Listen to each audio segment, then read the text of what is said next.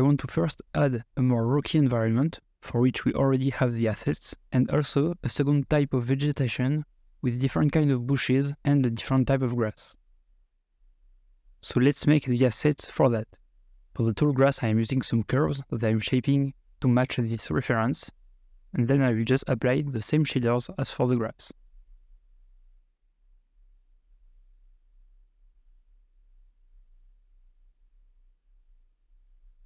Then I am adding a second type of bushes using the branch instancer we made for the tree, so I can just instance curve on top of each other, and I am using the same leaves as for the tree. I also made a flower with a really simple shader to sprinkle on top of the bush. Using this setup, I made a few variations of this one.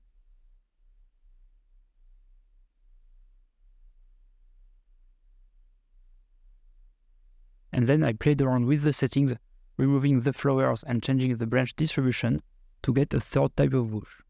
So now I have six objects in this collection.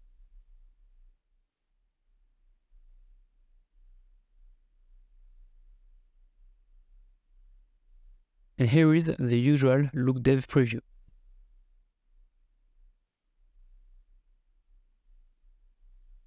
With those new elements, let's add some biomes.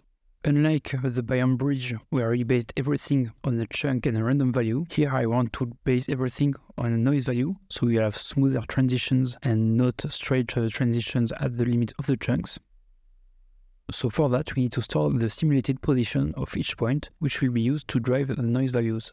This value is located right here in the compute terrain height block.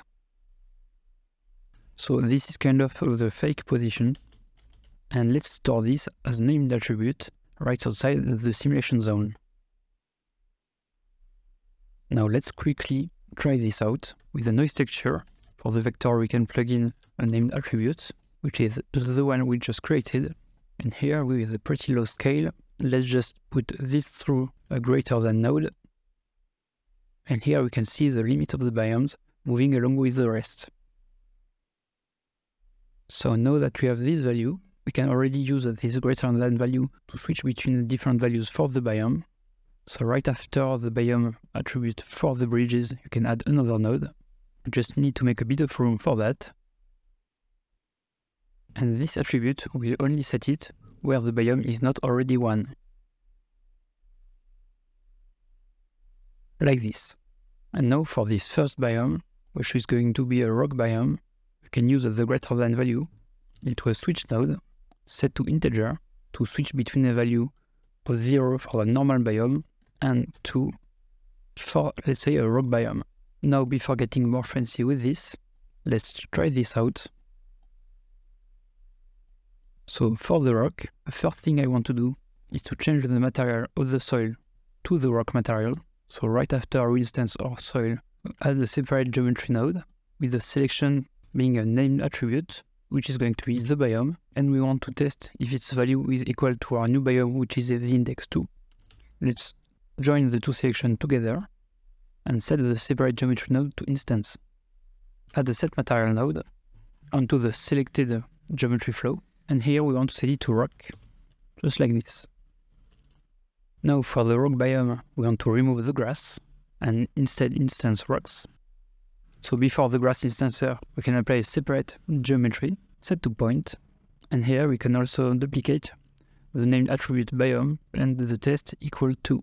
Now the inverted will be our grass from before.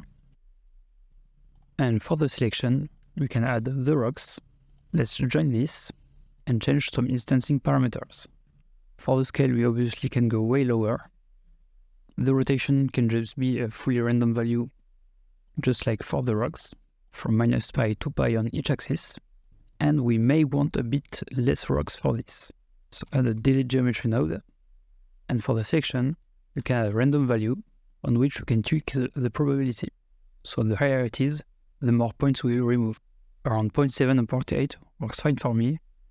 Now this biome transition is already looking pretty nice, but I want the transition to be a bit longer. So for this, we need to change a bit the noise value so the transition points are scattered over a bigger distance. We can do this pretty easily by tweaking the fake position distance right before the noise texture with the mix color node set to linear light right here. We can add a second noise texture with the vector being the same fake position and the color output can go into the second input of this node. Now let's have a look at this. So for the scale, we can go way higher, about 100. We can set the detail and roughness to zero. And as you can see, with this linear light color mix, we can make a smoother transition between the biome regarding the different biome values. And let's see how it looks. As you can see, the transition is a bit smoother. Now to continue with this, let's make another biome with the shrubs we designed before. So here let's generalize this chunk selection. Instead of switching between the new value and zero, we can switch between the old value, like this, and the new value, which will be 2. So we can select all those nodes, group them with Ctrl G, set the new biome value as an input, set the test with not equal to 1 as an input also, which is going to be not affect. And here we have the new biome. And for the parameters we want to tweak, we could play with the W value of a 4D noise, the scale, and the greater than value. And this will be a probability. This will be the simple biome blend. Let's duplicate this to assign a new biome of 3. We still don't want to tweak the bridge, which has a value of 1. And let's see how it affects everything. So right here, after the previous separate geometry node, let's add another one to test with the biome value of 3 and separate this flow. Duplicate this one and let's plug it like this. For the selection, I want to change the collection to my shrubs and let's change a bit the scale. And right here we have our first shrubs. Now just like the rocks will stand on top, I also want to remove a bit of points. So let's also add a delete geometry node right here with the probability which is going to be a bit high.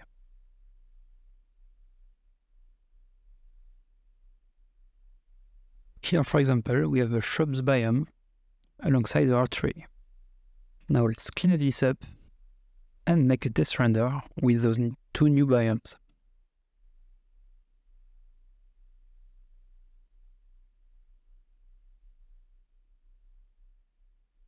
And that's it for this part. Hope you learned something here. In the next one, we'll tackle the very important step of making this animation seamlessly loop.